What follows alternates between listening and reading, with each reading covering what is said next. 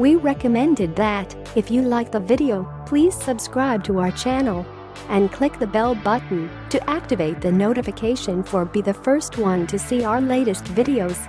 If you see our videos on mobile and tablets, you can do its like on screen. Let's start.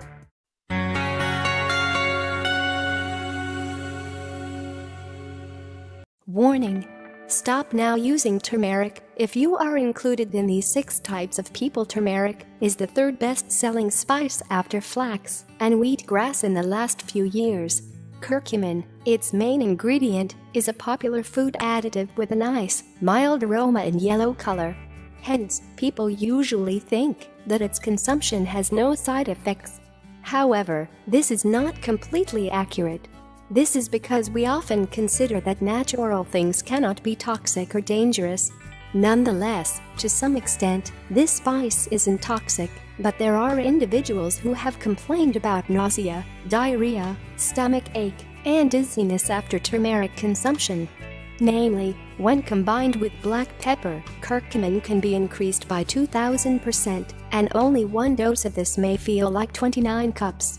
That is, the blood levels increase in this mixture can change the DNA in vitro. Therefore, to avoid unwanted side effects, these groups of people should avoid turmeric. 1. Pregnant and breastfeeding women. Women who are pregnant or breastfeeding should consume turmeric cautiously or even better, avoid it completely. Namely, when consumed orally, turmeric can put their pregnancy at risk by stimulating a menstrual cycle or the uterus, also, men who are trying to be fathers should avoid it as well, because turmeric is known to decrease the testosterone levels and sperm movement. 2. People with gallstones.